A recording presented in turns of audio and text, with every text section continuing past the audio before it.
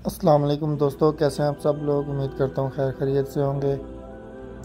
आज मेरी वालदा आ रही हैं पाकिस्तान से उम्र करने तो मुझे बहुत खुशी है, मैं अभी मक्का जा रहा हूँ उनसे मिलने। तो चलिए साथ साथ आपको भी दिखाते हैं।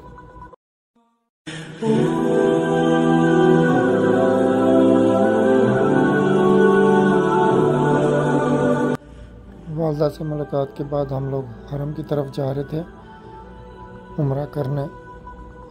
क्योंकि मैंने एहराम नहीं पहना हुआ था, इसलिए जो लोग अब एहराम नहीं पहनते और सिर्फ़ तवाफ़ कर सकते हैं, वो दूसरी मंजिल पे उनको भेज दिया जाता है। तो हम लोग उधर जा रहे हैं, अभी हरम पाक, ये आप देख सकते हैं।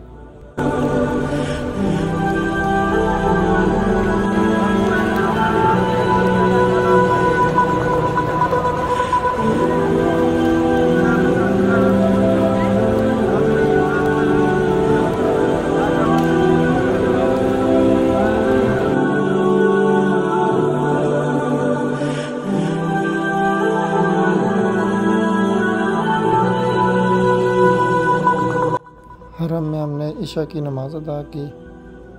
इसके बाद जब वो उम्र करके वापस आए तो फिर हमने प्लान किया कि कल इन हम लोग जाएँगे जबले नूर पे, गार हिरा पे।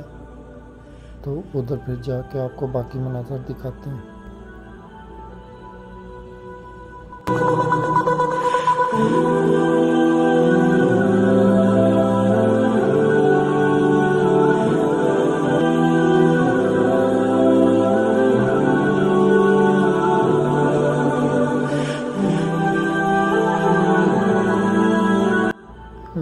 के ऊपर पहुँचने के लिए रास्ते में हम कई जगह रुके, क्योंकि बुज़ुर्ग ख़वातीन थी तो उनके साथ रुकना बनता था।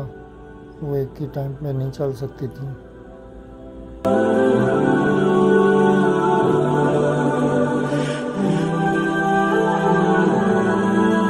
ये जो छोटी सी गार आप देख रहे हैं, यहाँ से गुज़र के पहाड़ की दूसरी तरफ़ जाना होता है, जहाँ पे गार हिरा है।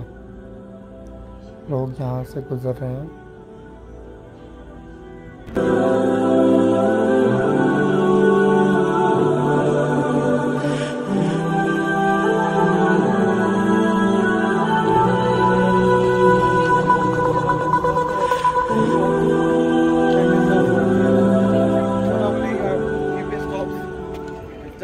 अब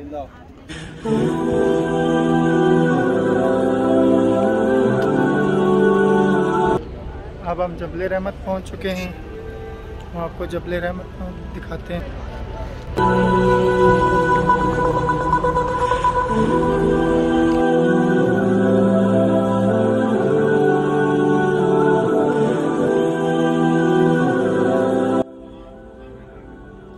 ये जो पहाड़ आप देख रहे हैं, ये बिल्कुल ये जबल रहमत का पहाड़ है।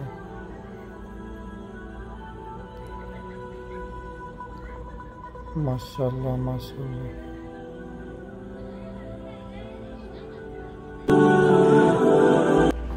अगले दिन मैंने सोचा कि सब आप लोगों को दिखा दूँ कि जहाँ मैं रह रहा हूँ, मक्का में, वहाँ पे छत के ऊपर कितना बेहतरीन एक मंज़र था जो मैं आपको दिखाना चाह रहा था।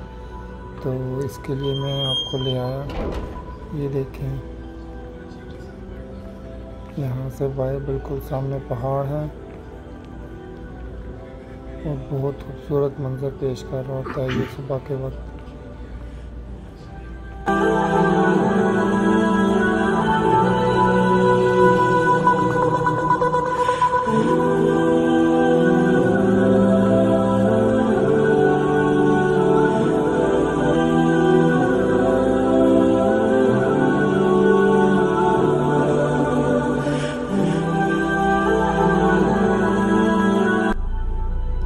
बाद मैंने सोचा आप लोगों को दिखा दूँ कि मैं जहाँ से नाश्ता करता हूँ, मक्का में। वो जगह मुझे काफ़ी बेहतरीन लगी तो आप लोगों को सोचा दिखा दूँ।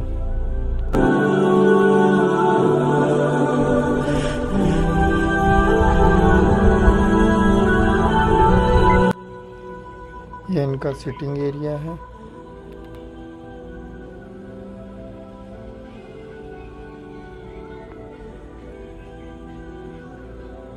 मुझे ऐसा लगता है कि ये नया नया होटल बना है।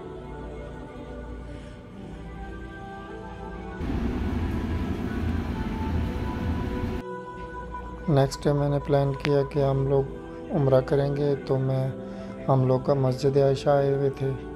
मैं वालदा को लेके, ये आप देख सकते हैं मस्जिद आयशा के मनाज़र।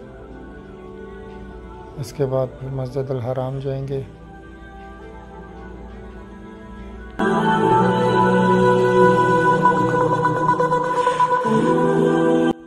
मैं नफल पढ़ के बाहर आ गया था। मैं लेडीज़ का वेट कर रहा था। तो सोचा एक और क्लिप बना लूँ बाहर से। मस्जिद आयशा का खूबसूरत मंज़र।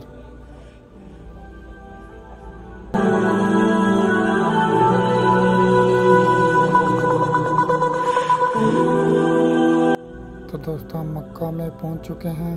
इसके बाद हम उम्र अदा करेंगे और फिर मिलेंगे नई किसी वीडियो में। तब तक के लिए अल्लाह हाफिज़।